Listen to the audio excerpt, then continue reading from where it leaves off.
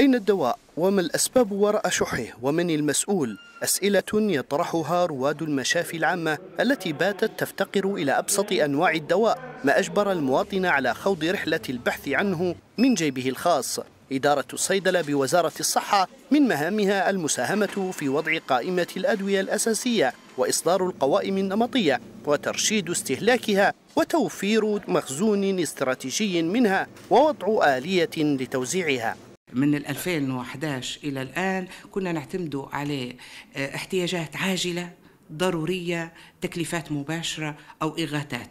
آه، السبب اللي أدى إلى نقص المخزون بتاعنا حوالي من 2013 بدا المخزون الأدوية ينقص. نحن كإدارة صيدلة عددنا احتياجنا من 13 7 واحلناه للتنفيذ.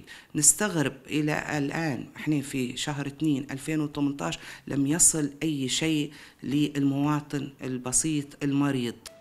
تكليفات إدارة الصيدلة يتلقاها جهاز الإمداد الطبي الذي يشتكي من البيروقراطية الإدارية وعدم تسييل المبالغ اللازمة لتوفير الدواء للمستشفيات العامة. فيما يخص جهاز الإمداد الطبي لا يوجد لدينا شيء لا يوجد لدينا تكليف بالأحرى لا يوجد لدينا تكليف لم يتم تنفيذه أو لم يتم إحالته لمصرف ليبيا المركزي لفتح اعتماد. كل ما أحيل إلينا من تكليفات صادرة عن الوزارة تم تنفيذها. حاليا خلال سنة 2017 طالب الجهاز آه، بمبلغ مليار و300 مليون لتغطية احتياجات الدولة لسنة 2017 تمت الموافقة على 700 مليون من قبل وزارة المالية. لم يسيل حد الآن سوى 315 مليون.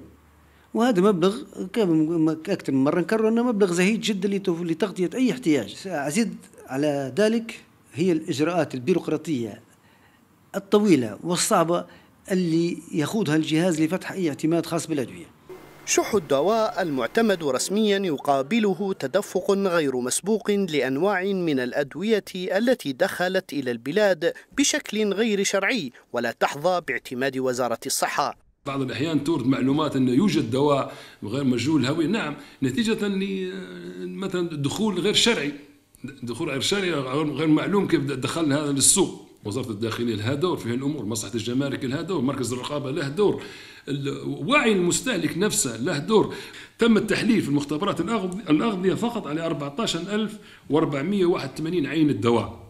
تم عدم الإفراج عن 128 شحنة. في 128 شحنة تم عدم الإفراج عنها. وتم الإفراج على 2171 شحنة خلال 2017 في ظل الأزمة السياسية والاقتصادية التي تعيشها البلاد تعطلت عملية توفير الدواء ما أقلق المواطن ألا يجد حاجته من دواء كان بالأمس القريب في متناول يده.